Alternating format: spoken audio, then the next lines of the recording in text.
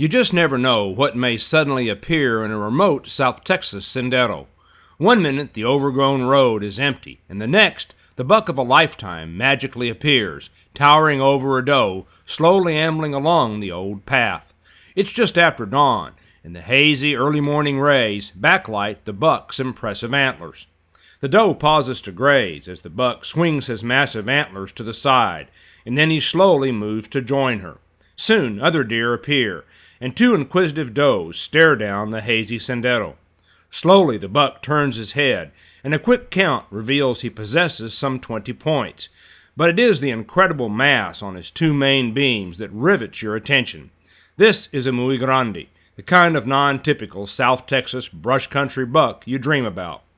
He has been seen on occasion over the years, but like many mature bucks, has proven elusive and impossible to pattern, and you just never know when he may show up. What a thrilling opportunity to see him this misty morning.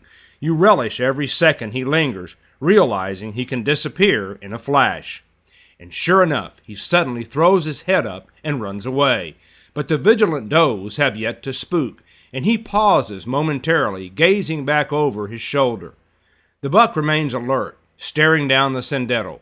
But when the does scamper off, he quickly vanishes with them into the thick brush. With your nature report, I'm Richard Moore.